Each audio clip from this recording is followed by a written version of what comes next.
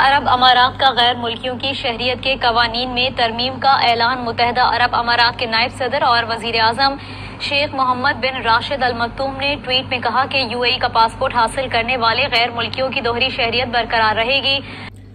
अस्सलाम वालेकुम। तो कैसे हैं आप सब? और सुनाएँ क्या हो रहा है? तो ये न्यूज़ जो मैंने आपको सुनाई है, ये न्यूज़ सुनाने का मतलब ये था कि बहुत लोग बोलते हैं कि आप लोग अपनी तरफ़ से कुछ ना कुछ ऐसे बोलते थे ऐसे नहीं बोलते, क्योंकि जो बड़े चैनल्स जो टीवी चैनल्स हैं, जो सालों से चल रहे हैं, ठीक है, उनमें जो न्यूज़ आती है, लाजम वो हंड्रेड परसेंट क्लियर है, सही है। तो कहने का मतलब ये था कि मैं आपको स्क्रीनशॉट भी दिखा दूँगा, यहाँ पर जो मेंशन कर दूँगा आपको वीडियो में जो खलीज टाइम है, जो यहाँ का खलीज टाइम है, जो न्यूज़ देता है, वहाँ पे। तो कहने का मतलब ये था कि जो न्यूज़ तो आपने सुनी है थोड़ी सी तो दुबई गवर्नमेंट ने जो है, यूएई गवर्नमेंट ने जो है ऐलान कर दिया है कि पासपोर्ट देने के लिए। जैसे अमेरिका, यूरोप, जर्मनी वगैरह में पासपोर्ट वगैरह दिया जाता है तो वैसे इसने भी ऐलान कर दिया है कि ये भी पासपोर्ट देगा। लेकिन हर किसी को नहीं, जैसे कि जो हुनरमंद लोग हैं मतलब जैसे डॉक्टर, इंजीनियर, आर्टिस्ट और मतलब जो भी बड़े बड़े जो हैं, जो जिनके पास स्किल है, जिनके पास डिग्रीज़ है, वो लोग ले सकते हैं। या फिर जिनका बहुत बड़ा बिज़नेस है, वो लोग पासपोर्ट ले सकते हैं। तो अच्छा है।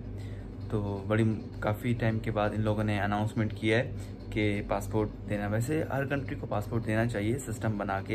अरब कंट्रीज़ में ये फ़र्स्ट टाइम ये ऐसा हुआ है कि जो पासपोर्ट देने का जो है अनाउंसमेंट इन्होंने किया है।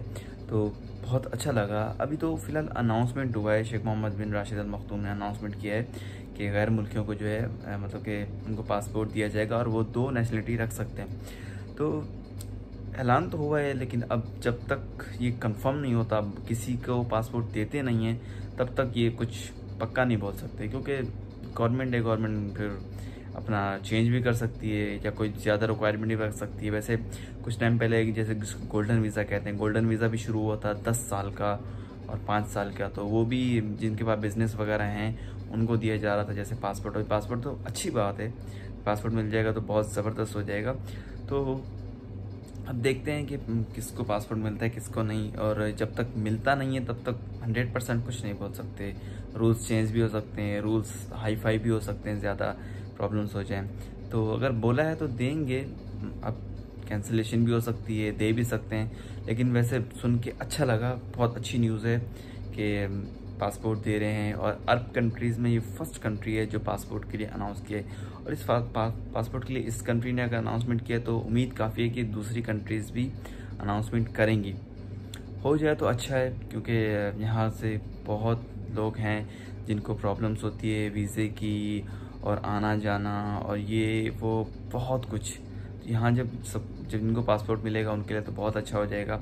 और जिनको स्किल वगैरह हैं, उनके लिए भी अच्छा रह जाएगा। और फिर जो यहाँ लोकल होते हैं, वहाँ उनका भी कोई झंझट नहीं होगा कि आप लाजिम वीज़ा लो, कुछ पासपोर्ट हो जाएगा, आप अपनी कंट्री का पासपोर्ट भी रख सकते हैं और यहाँ भी रख सकते हैं। बहुत अच्छा है। तो यह न्यूज़ सुन के अच्छा लगा और ये उम्मीद काफ़ी है कि यू गवर्नमेंट देगी हंड्रेड परसेंट देगी, लेकिन कुछ भी हो सकता है रूल्स चेंज भी हो सकते हैं। तो अब देखते हैं आगे क्या होता है। तो मेरा तो यहीं तक था। आप लोग मेरे चैनल पर नए हैं तो प्लीज़ मेरा चैनल सब्सक्राइब कर लें। ओके और अपना ख्याल रखें। अल्लाह हाफिज़।